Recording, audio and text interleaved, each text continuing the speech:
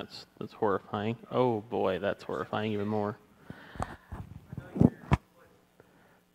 Yes, everyone hates that though.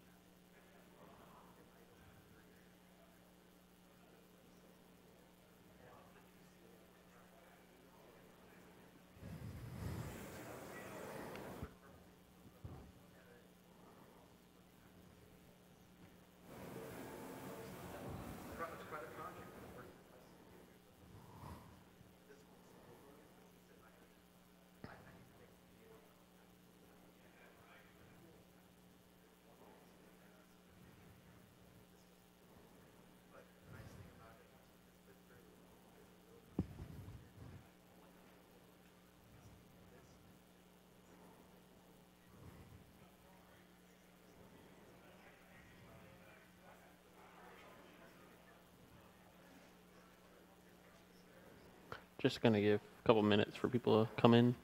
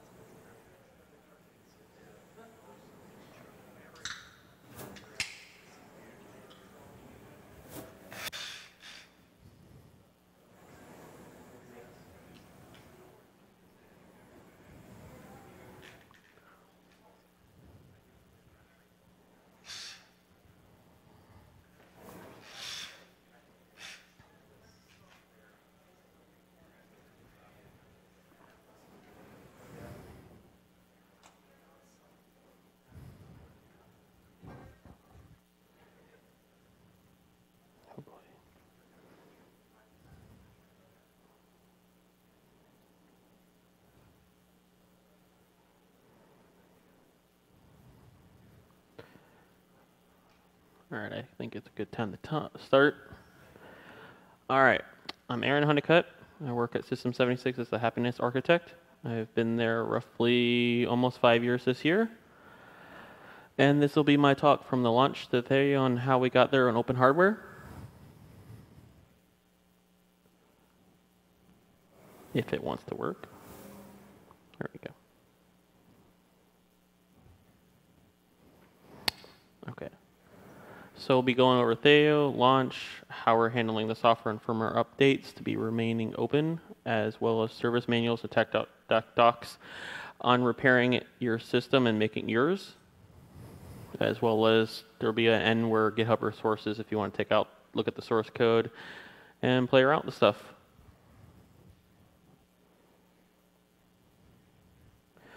So we'll start with the Thelio desktop 'cause that's where we started on in-house design and assembly in the US. We start with all wood and metal built bought from US in-house companies. to assemble it in the US. All the designs are on GitHub and OS HWA certified, as well as GPL3 and CC by SA certificates. Licensed that way you can just download the source code, look at it, modify it, make it your own, and learn on how we made it, and maybe in ways that you can make it better yourself. That way it can kind of spark change and develops just like Linux did almost three decades ago. So a single sheet of metal goes into the machine and punches out each section, including the air vents, the cable ducting, everything into a single sheet. Tries to use as much of that metal as possible to reduce waste, but we also recycle anything that's not used for the case or anything that's not just perfect for our customers to be as, as environmentally as possible. This process usually takes 10 to 15 minutes to go through the sandblaster to remove any rough edges, anything that is not perfect. We also have a CNC machine to go through the metal and everything. We also have the bender. It's used to be, it's a manual bender to bend the metal.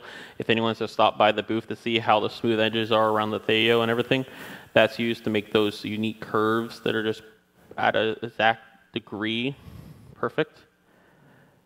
It uses a foot peg on the bottom to help push the metal around to curve it. Also uses lasers, a laser line to make the bend line as straight as possible to remove any imperfections. So everything that involves humans in the warehouse, they do the case assembly, the power coding, that's all done by hand in its special room. Any finishing touches, NQA check. Everything's built by hand in the factory. That's poss where possible. And you can see kind of all different parts and everything that makes the Thelio before it's power coated on the right side there. Just bare metal after a sandblast and, through, and after being going through the punch hole. And everything that's lined up there and being put together by hand. That would be a case being built. Okay, so as you can see, everything is itemized with a barcode scanner. That way we can make sure everything, it has a 32 gigs of RAM, an RTX 3060 GPU, everything's individually scanned to make sure every build is as perfect as humanly possible. Try to remove any human error out of there. So we'll be going through the actual build itself after everything's been pulled out of the catalog. We start with the Thelio I.O. top case, bottom case, a CPU shroud depending on the CPU and the, how the wiring, GPU brace, and drive cage. If you've been by the booth, the drive cage is wired up to show for where you would put the 2.5 inch drives in. Depending on the Thelio model, there might be two of those, one of them. There also might be a U2 drive bay for those faster drives that communicate over PCIe versus just SATA and everything's built in there. It's screws to make screwdriver to make sure everything's tight, not going to move, everything's firm.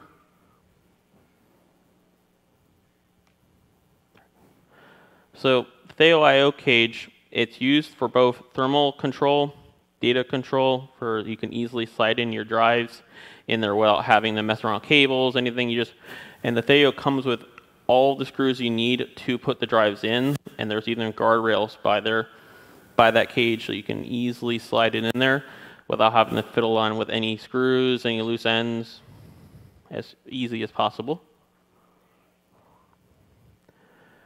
One of the great things with this case design is that we can easily control how much thermals are going around by making that CPU duct directly airflow and the placement of just all the fans. Even a slight centimeter or millimeter can make a big difference in performance. So everything's controlled precisely. One of the main points is we want customers to get as much performance as possible and reduce thermal headway on those components.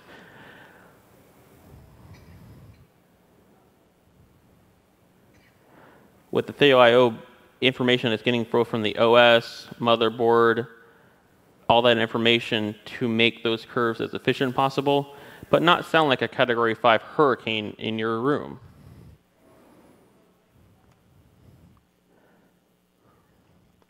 We also check out, use simple tools, open source tools to check the performance to make sure those components are being pushed as hard as possible, but not make all that fan noise and keep performant without getting that bottleneck of performance. Using GPU burn and stress testing tool like StressNG.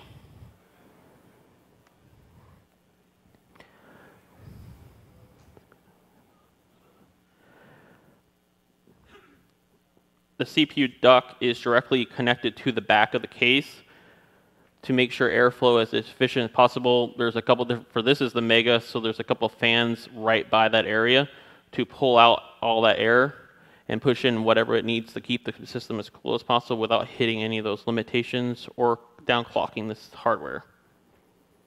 Even a slight movement can make a good difference or affect it negatively. So it has to be exactly precise. We also built our own sound cube booth, kind of looks like a Rubik's Cube, to put Thelio in there to make sure though any noise from the factory affecting our testing and make it as soundproof as possible to make individual tweaks to those fan curves because we won't be hearing that in the factory area, so we want to make sure any isolated sound is removed the from the equation. You'll also notice a couple of the clever air holes is the very back is the Unix epoch. On the side there is the three celestial bodies, and we also have little rockets on the side. But those are like little, those are very clever air holes to improve that thermal compound, but we wanted to add a little bit of fun to them.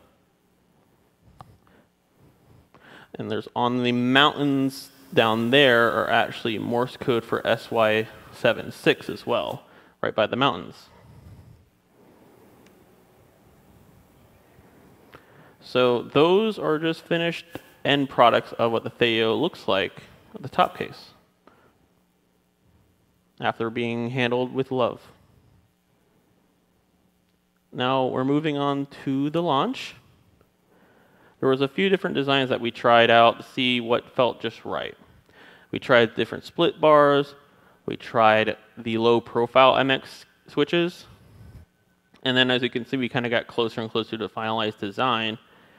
The main difference would be the, if you stop by the booth to see this launch, which will be there after this talk, on the very right, there will be extra to home, page up, page down, and keys on the right is missing from that bottom photo. So it took a bit of time just to find the right layout that we thought added the most efficiency to typing experience while still being useful to everybody as we can.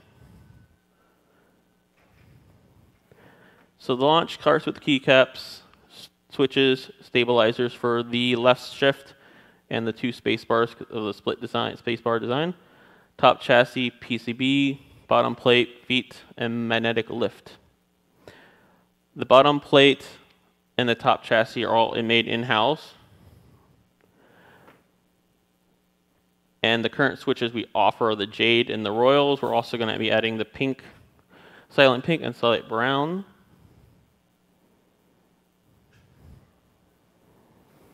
I don't think that video is going to work. So at first we started putting in the switches manually by hand. There's 84 of them, so quite time consuming. So on the weekends we'd be having anyone come to the factory to help install switches based on the demand of the launch as a product. As we, as everything got higher and higher demand, we needed a machine that would do that for us. So this would be a video if it would work. Would be a video showing just that machine sorting out the switches, lining up just perfect, and then stamping them in there automatically without any human interaction into there, which would sped up the process by a great fold.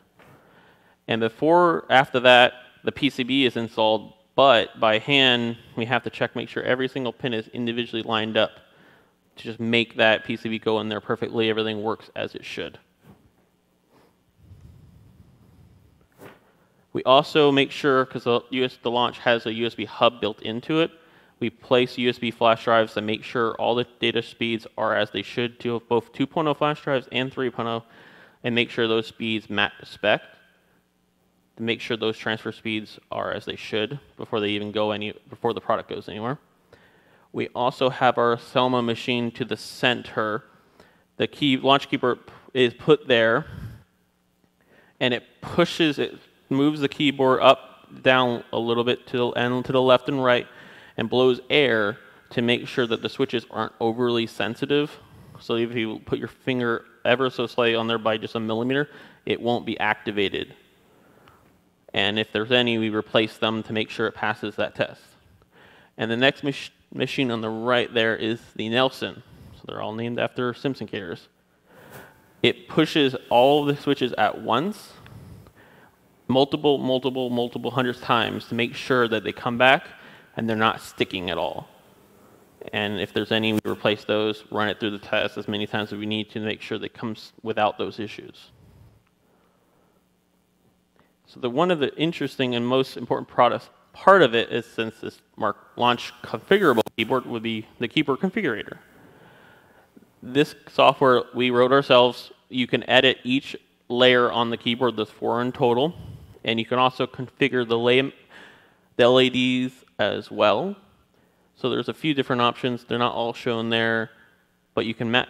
For my keyboard, I don't use the escape the caps lock, so I changed it to the escape key, which we ship with an extra larger escape key that fits that spot. So I changed in the keyboard configurator. Also change the. You can also change the escape key I did here to access layer th to switch to layer three, and I mapped a numpad there to make a replacement for that. This is available, we wanted to make it as widely available as possible as a launch, so it's available Windows, Mac, and Linux first class. Now these, these settings also are written directly to the keyboard, so you can move them, once you make the configuration, you can move it to any device you want that can interpret, like I was using a Chromebook just to connect it to. And it kept all the keyboard configurations on the device itself. You can also change the keyboard uh, range out if you don't like QWERTY, if you want to use the Dvorak, have at it. You can do it.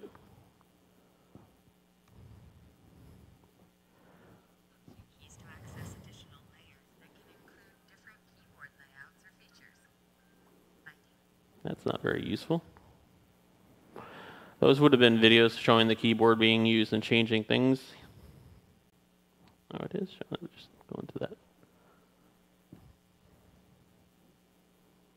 There we go. Now we're up to the firmware section. The firmware is handled on the launch by fwupd, so it's any distro that supports that firmware update method can easily get firmware updates. So you're not limited to Pop or Ubuntu, you can use anything. I've changed mine on Arch a couple times. You can also run it updated on NixOS, various distros, whatever one supports it. And let's see. And now we're to the technical documentation part. And just the links. So we have quite a few minutes for any questions. Q&A, I got them up there. It looks like we have one. I do not know when that will be. Uh, Miles, we have a question for the Thelio style desktop laptop. Uh, that's a tall order, yeah. Huh? that's the next step. That's the next step now that we have the Thelio as the starting point, launch, now we've nailed down manufacturing and the keyboard experience, and that's the next step. I don't know when it'll be, but it is the next step. Anybody else? The Tesla of laptops.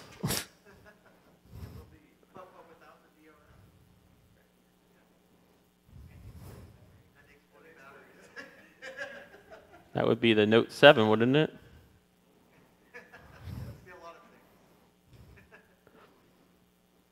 Anything else? Any other questions?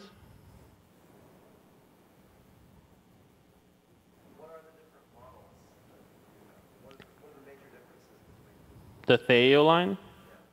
Base Thelio line, there's a single PCI by 6 slot for a GPU, and a single Thelio I.O. cage for four M.2 2.5 inch drives. Thelio Major goes up to two of those drive bays, so you have eight 2.5 inch drives total. There's another by 16 slot Thelio Mega is pretty similar to that. I think there's another configuration that you can do on that for GPU wise. Massive is probably where you're going to notice the biggest difference. Mega also has the four, can fit four GPUs into it.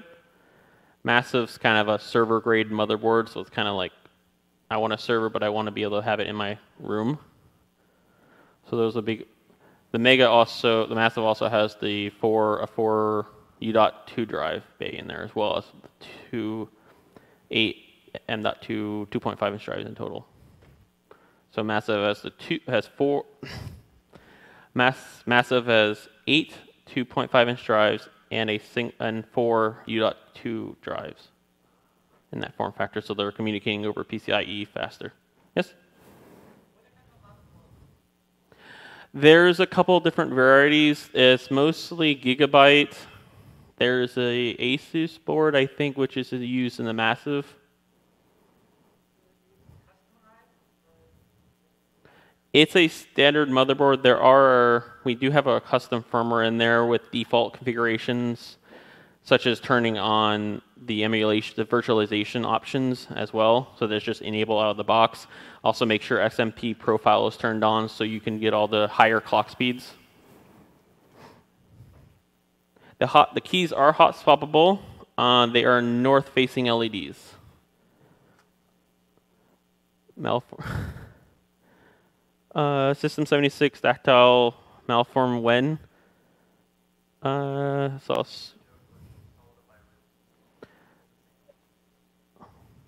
it it yeah it was died in the before entering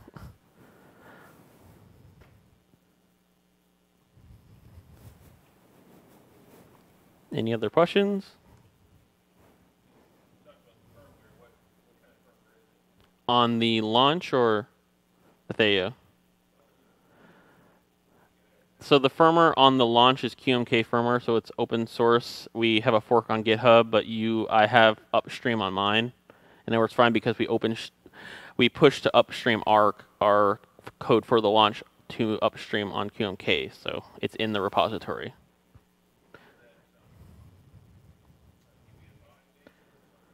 I believe it's something else based. It's not UEFI for the for the launch. The Thelio firmware, it's closed firmware for the moment. There's not a whole lot of new generation motherboards. There was like one of recent time that had coreboot on it, but I think it's just a DDR4 and the DDR5.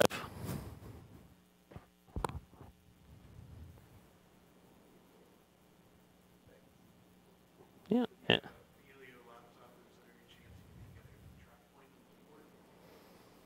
I've I've definitely seen a lot of demand and asked for that. I don't have anything I can share or anything I know about at the moment. I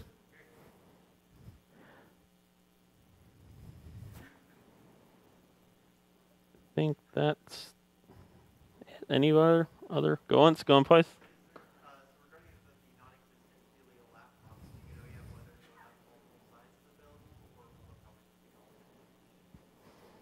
I don't know if they've decided on the screen size just yet.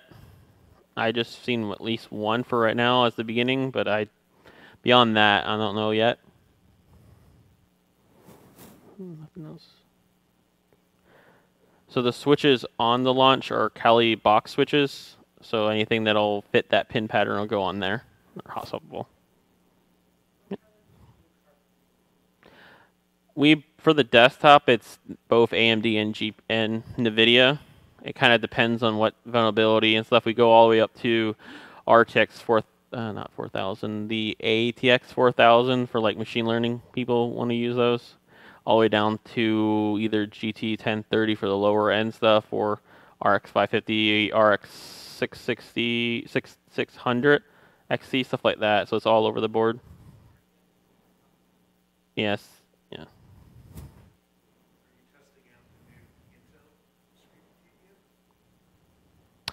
I've not heard of anything, so I don't know for sure.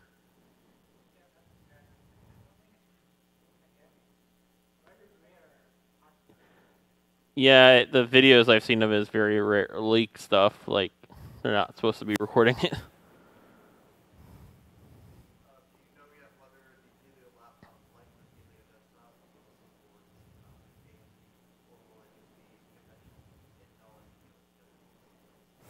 I have not seen the discussions of which one it's going to pick. I have not seen that one just yet.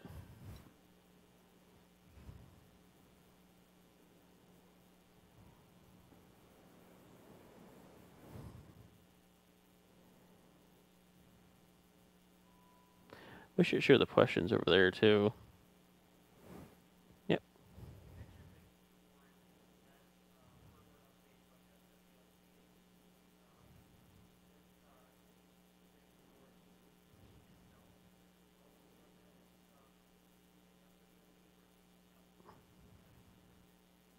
For the desktops, it's our updater. I know there was work on messing around with uh, FWB capsules in the possible future, but nothing set. But I know they're messing with capsules and see how, how they work and stuff to possibly offer it.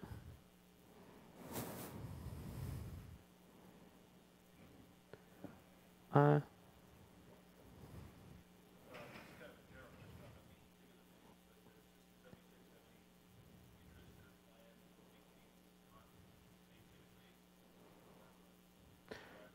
I I don't have any plans to share.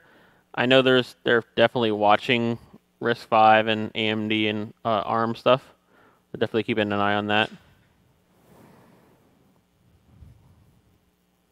I think that's it. Questions? All right, I'm gonna send the feed.